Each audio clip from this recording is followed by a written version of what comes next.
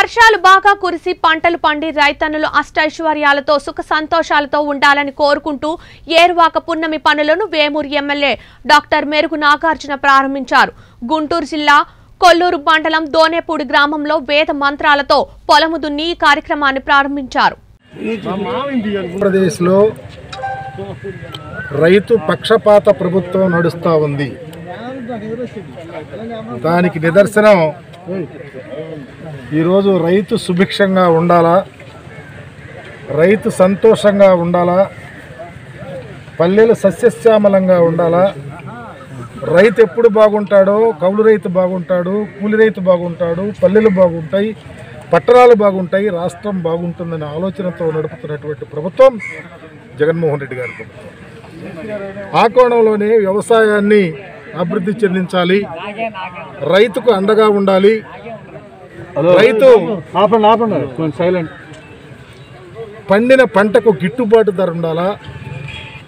వ్యవసాయం చేసుకునే ఏ రైతు అయినా మరలా కన్నీరు రాకూడదన్న ఆలోచనతో పరిపాలన చేస్తున్న ప్రభుత్వం జగన్మోహన్ రెడ్డి గారి ప్రభుత్వం. ఆ కోణంలోనే ఈరోజు ఏరువాక పూర్ణమి. ఈ రోజు నుంచి రైతు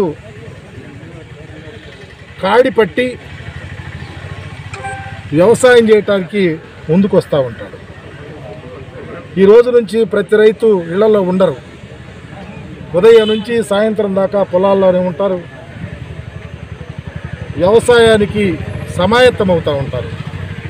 అందుకనే ఈరోజు రాష్ట్ర వ్యాప్తంగా ఏరువాక పూర్ణమి జరుపుకుంటూ రైతు వ్యవసాయానికి నాంది రోజుగా ప్రతి సంవత్సరంలో మొదటి రోజుగా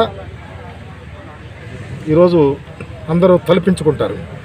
ఆ కోణంలోనే వేమూరు నియోజకవర్గంలో ఏరువాక పూర్ణమి రైతుని అండగా ఉండాలి. ఈ రోజు నుంచి వ్యవసాయం చేసుకునే రైతు ఎక్కడ ఆటంకం రాకుండా ఉండాలా? వరుణదేవుడు సహాయంగా ఉండాలా?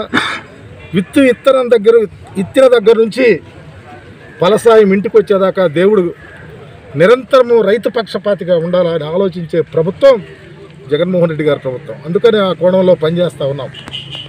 వ్యవసాయం చేసుకునే రైతుకి ముందే వ్యవసాయానికి తరుణంలోనే డబ్బులు ఇచ్చినటువంటి ప్రభుత్వం జగన్మోహన్ రెడ్డి గారి ప్రభుత్వం. పన్నెండు వేల ఐదు వందల రూపాయలు ఇస్తానని పదమూడు వేల ఐదు వందల రూపాయలు ఇచ్చి రైతును ప్రోత్సహిస్తున్నటువంటి ప్రభుత్వం. పండిన పంటకు గిట్టుబాటు ధరిస్తున్నటువంటి ప్రభుత్వం. వ్యవసాయం చేసుకునే రైతుకు విత్తనాలు ఎరువులు సకాలంలో తీసుకొని వచ్చి మీ గ్రామంలో ఉన్న రైతుకు సంబంధించినటువంటి ఒక ప్రత్యేకమైన ఉద్యోగిని పెట్టి మీకు అందుబాటులో ఉండటానికి ఒక ప్రత్యేకమైన సచివాలయంలో ఏర్పాటు చేసినటువంటి ప్రభుత్వం. అందుకని రైతాంగం ఎక్కడ చిన్న అనీజినెస్ కూడా ఉండకూడదనే ఆలోచనతో పనిచేస్తున్నాం. ఎక్కడన్నా ఏ వంగడ వేసినా ఏ పంట వేసినా రైతు నష్టపోకూడదని ప్రతి పంట మీద ప్రత్యేకమైన దృష్టితో చూస్తున్నటువంటి ప్రభుత్వం జగన్మోహన్ రెడ్డి గారి ప్రభుత్వం. ఇదివరకు ఎన్టీ రామారావు గారు కానీ వైఎస్ రాజశేఖర రెడ్డి గారు కానీ రైతు వెంక రైతు కన్నీరు రాకూడదని ఆలోచించినటువంటి మహానాయకుడు.